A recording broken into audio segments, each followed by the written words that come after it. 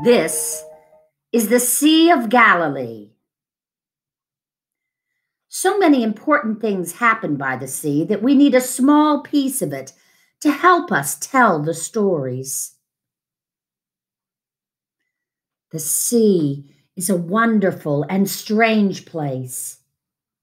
When the wind blows, the sea becomes very rough and wild. And when the wind is calm, the sea is peaceful and still. After God raised Jesus from the dead, Jesus' disciples returned to Galilee, where Jesus told them to meet him. One evening, seven of them decided to go fishing.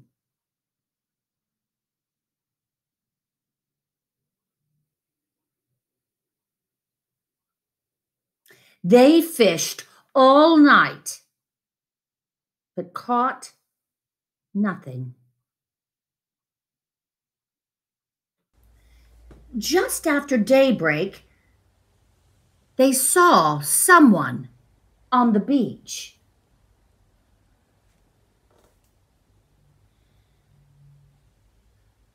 But they couldn't tell who it was. He called to them, Have you caught any fish? No, they answered. Cast the net to the right side of the boat, and you will find some. So they did.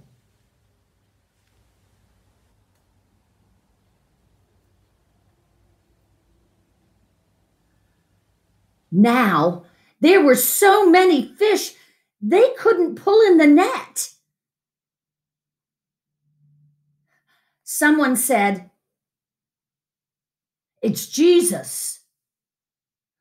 Peter jumped into the water and ran to him.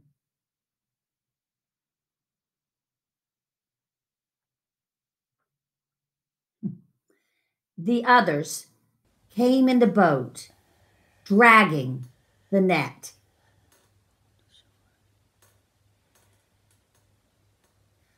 When they came ashore, they saw a charcoal fire with fish and bread on it. Come and eat, Jesus said.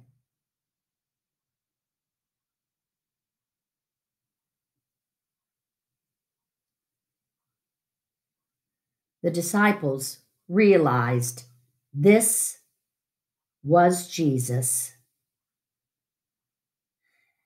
Then Jesus took the bread and gave it to them. And also the fish.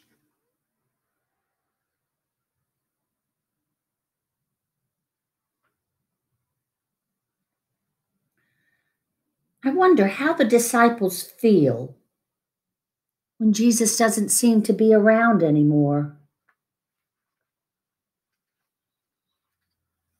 I wonder why they decided to go fishing.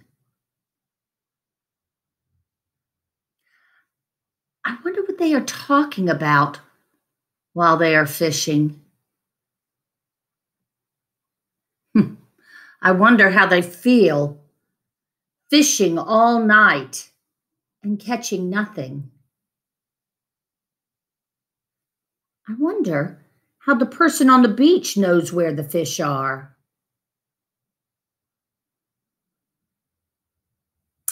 I wonder how the disciples know the person on the beach is Jesus. Hmm. I wonder what Jesus and the disciples are saying to each other. I wonder what they will do now that they have talked with Jesus again.